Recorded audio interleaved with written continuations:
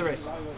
You know, just it, it went the way we planned. You know, I wanted to run faster than that, but you know, the main the main goal was to just to win the race. So I'm glad I did it. Did you have a specific plan for that last lap? Or what was your tactics going into the entire race? You know, I wanted actually to, to ban the kick out of him so that I can I will be able to kick with him because I knew if I just took it slowly, he's gonna run something like 24 and maybe I'm not ready for 24 so, so I really wanted him to maybe split something like 27 I, I should be able to kick with him. When he passed you at 200 to go and you went with him, did you think you were going to be able to beat him? Did you, or did you Yeah, know I, I knew that I saw the way he was running. I'm like, you know what, I'm gonna do it. So I saw him looking back, looking back. I'm like, you know, we're just gonna go until wire. Whoever wins it, I know that I that I fought until the end. So that was the strategy. Was indoors on the back of your mind having to beat by him twice and knowing uh, once and then knowing he's trying to get your revenge here? And your, You know, until actually, it's not it's not more of about revenge, but you know, it's bad when someone beats you twice. So when he beats you once, you know, you need to get back there and uh, you know, fight. Yeah, so that's what I wanted to do. Talk about the like last mile in general. You know, you know he's still with you. Was there any nerves that he's like you're not going fast enough, that you're not tiring him out? Like what was the last mile for that 5K? You know, for me actually, I knew that the pace we were doing, I knew we can kick together. So I was not worried. I knew, you know, we're gonna go together and kick whoever wins it. You know, so for me actually, I came into this race. I'm like, you know what? I'm just gonna, gonna go over there, do my best. If my best will win the day, then that is it. You and, Kennedy, you and Kennedy were trading off the lead for a couple times. You know, why did you why did you pass him? Why did you keep on passing him and push, push the pace? You know, actually, I wanted, I wanted it to go faster, but you know, it was going a little bit slower than I expected. So wherever I came, trying to help, you know, I wanted it to go faster. So I'm like, you know what, I need to go up there and push this pace because I really wanted to win it. And you know, sometimes you have to do whatever you have to do to win. Was there contact between you guys? Uh, you know, halfway down the home stretch, No, that wasn't between me and who? between you and Edward in the home stretch. Mm, I don't think so.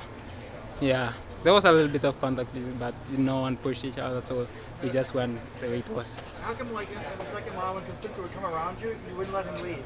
Like, he would You know, come, and then you. I wanted it to go a little bit faster, but the way he was doing it wasn't going as fast as I want. So you know, I'm like, you know what, I need to push it myself. Yeah, Did you say anything to Edward after the race, or did he say anything to you? yeah, yeah, yeah. We just came and hug each other. You know, good job. Because you know, for us, it's it's about fun. You know, it's not just about being winning this race. You know, it's about having fun out there. You know, that's what that's what the fans want. They want a race whereby it's really fun. So it's not a matter of just going there and winning it by yourself. So fighting until the end is what makes the race fun. So I really appreciate having him in the track. Do you think this 5K effort that you put out is going to affect your 1500 performance tomorrow? For me, actually, I think it's kind of a motivation right now because I feel excited after winning this one because this was the this was, this was the main one for me. So tomorrow it's gonna take care of itself. So I'm really I'm really happy, you know. Obviously, the crowd wanted him to win, but when they're that loud, did it help you a lot too? You know, as I said yesterday, you know, when I hear the crowd really cheering, I believe that they're cheering for me. You know, I don't care if they're cheering for him or who. So for me, actually, it was like, you know, it's me. so I just went until then. I'm like, you know, okay, I'm I win the day. For me, you know, I was like, you know, I'm just gonna go there, do my best. If I'm gonna win it, that is it. So I didn't have that much pressure. I'm like, "Oh, you know what, I have to win this now. It was just about, you know, let me go there, do my best. If my best will win it, then that is it. Mm, I'm not actually gonna do the Commonwealth because they already done the trials. So, but I didn't attend the trials because it was one week before the NCS, so I couldn't attend it. Yep, it's gonna be Europe after 1500. Is it extra special? You're already the fastest man in NCAA history at 13 flat, but to get the meet record. I still got some. Did you realize you had the meet record today? Mm, I didn't realize, but yeah, you know, that's I, I was expecting something like that. So it's you know, it's, it's really a pleasure. It has been a pleasure running NCA. So it's really nice getting that meet record. When Edward went by you, um, you know, coming into the final turn, did you sort of let him go by? Did you try and match that move, or did you think that you had You know, I just wanna I, I let him pass to go, and then after that, I'm like, you know what, I'm gonna chase him. So when I saw him looking, then I'm like, you know, I got this.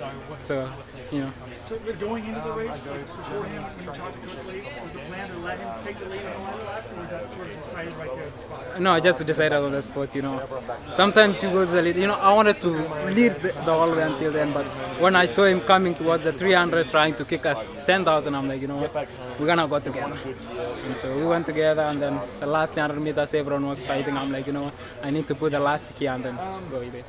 Can you put into perspective what he's done as a freshman? What kind of future does he have, do you think? Of course, he's a great athlete. That's what I, that's what everyone knows, and that's what I know. You know, uh, I've tested him, and I know right now that he's really a great athlete. So I expect to see a lot from him. So